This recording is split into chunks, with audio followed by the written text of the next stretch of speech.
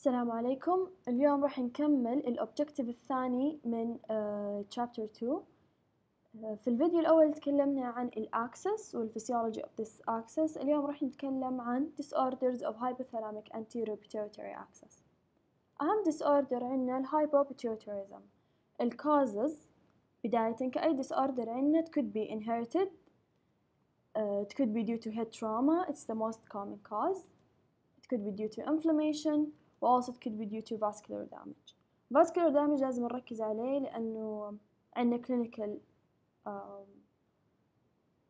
سيناريو حيجي بعد شوية أو كلينيكال آه، سيندروم طيب التايبس عندنا يا أما تكون سيكونشال loss of function أو isolated deficiency. إيش قصد بsequential loss sequential loss مثل ما هنا موضح لنا حيبدأ بال growth hormone. ومع بعض مع ال gonadotropin يصير لهم يصير لهم uh, uh, loss of function. بعدها بعدها حيجي ال TSH وال ACTH وآخر شيء البرولاكتين فزي ال sequence ماشيين واحدة واحدة يعني growth مع ال gonadotropin بعدين TSH بعدين ACTH بعدين برولاكتين أما ال isolated deficiency فيصير عندك uh, growth uh, deficiency. It's either sporadic or familial حسب ال cause يعني. عندنا ال gonadotropins زي ال Kallmann syndrome راح نحكي عنها عندنا ال ACTH TSH والبرولاكتين هذه نادرة جدا وتكون ك sign أو كعلامة لإيش؟ لل panhypopituitarism إذا صار عندك يعني pan يعني إذا صار عندك deficiency في كل ال في كل ال hormones يصير عندي deficiency في هذول الثلاثة اللي هم ACTH وال TSH والبرولاكتين خلونا نتكلم عن ال Kallmann syndrome Kallmann syndrome الناس اللي عندهم هذا ال syndrome ال gonadotropin releasing hormone ما يطلع. فبالتالي إذا كانت female ما حيطلع عندها LH و FSH من ال anterior pituitary وإذا كان male ما حيطلع عنده تستوستيرون فبالتالي ما عندي sexual hormones شغالة عندي. تمام؟ فبالتالي ما حيدخل puberty أو إذا بدأت ال syndrome عنده وهو بدأ ال puberty ما راح يكمل ال puberty فهذه Kallmann syndrome باختصار. عندنا مشكلة في مين؟ في ال gonadotropins طيب. ثاني آه حاجة نتكلم عنها اللي هي craniopharyngioma craniopharyngioma لازم نعرف إنها تصير في ال children و طبعا it's a tumor the hypothalamic pituitary system.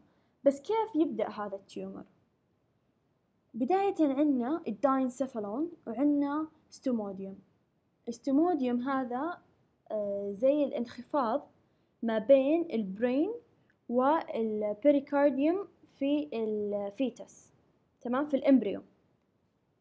طيب إيش اللي بيصير عندنا؟ بداية في ال stomodeum راح تبدأ يطلع لنا يطلع لنا ال Rathke Rathke pouch وهذه ال Rathke pouch طالعة من ال stomodeum ومعاها طالع ال Rathke stalk طيب طالع من وين؟ من ال stomodeum ال diencephalon في المقابل حيطلع كمان بروز.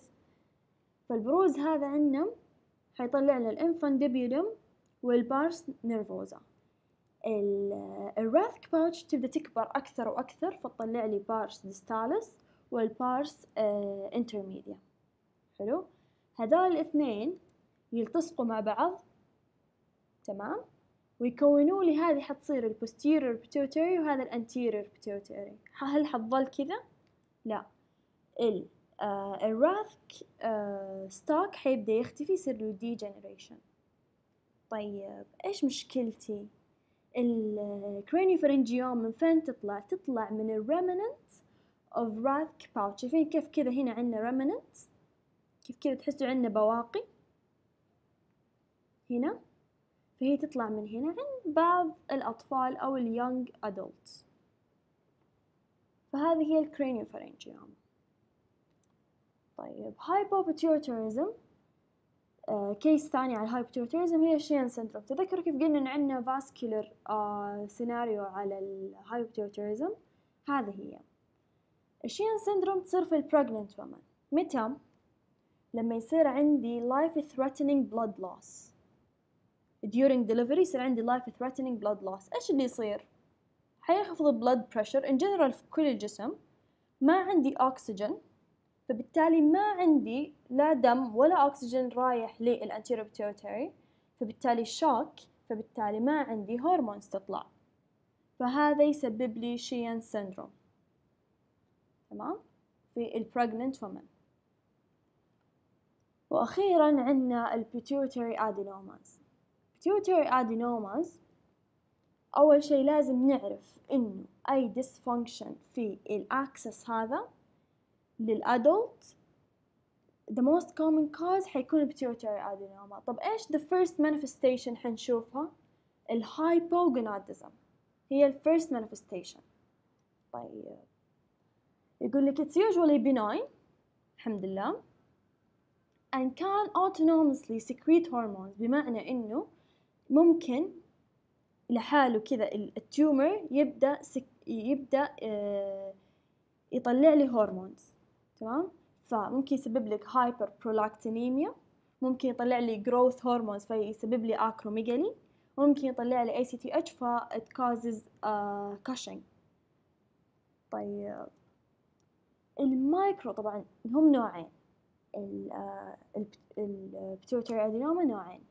microadenoma حتكون less than 1 سنتيمتر لل diameter آه وعندنا كم feature نبغى نركز عليهم. أول حاجة اللي يميزها إنه ال hormonal excess فعندي إفرازات إفراز هرمونات. هي مايكرو بس تفرز هرمونات. ما عندنا panhypopituitarism it's treatable مثال عليها ال Cushing syndrome أو ال Cushing disease عفوا. طيب. ال macroadenoma. هناك في الأول ال tumor كان صغير هنا أكبر شوي it's uh, more than 1 centimeter per diameter. هنا معطيني mass effect إيش يعني معطيني mass effect يعني شوف مثل ما إحنا شايفين هنا هذه ال pituitary gland هنا ال hypothalamus نازلة بال infundibulum طلعت لي anterior posterior lobe. طيب لما يصير عندي هنا enlargement أو adenoma أو macro adenoma it will compress الأوبتيك chiasm زي ما إحنا شايفين هنا هذا الأوبتيك chiasm وهذا الانتيريور pituitary فلما يصير عندي enlargement it will compress الأوبتيك chiasm فبالتالي يصير عندي mass effect يصير عندي visual loss مهمة جدا فالماكرو mass effect visual loss uh, it's a large tumor with supracellular extension associated with panhypopituitarism فالفرق هناك ما كان associated with panhypopituitarism وهنا associated with panhypopituitarism زي ما إحنا شايفين هنا هذا ال optic chiasm هنا enlarged already uh, compressed uh, هذا ال optic chiasm compressed by adenoma فبالتالي ممكن يسبب لي uh, visual loss وبكذا نكون وصلنا لنهاية الفيديو uh, شكرا لكم ال reference حقنا يسمى ال e lecture notes 2017